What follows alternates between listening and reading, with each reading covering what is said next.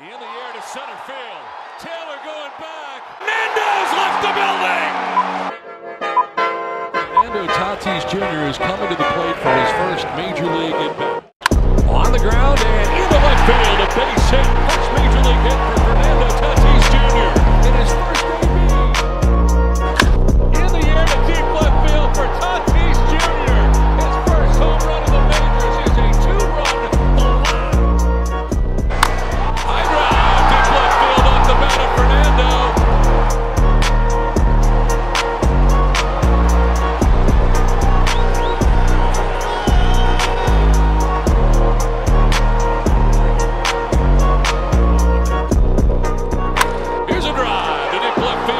goes Perron.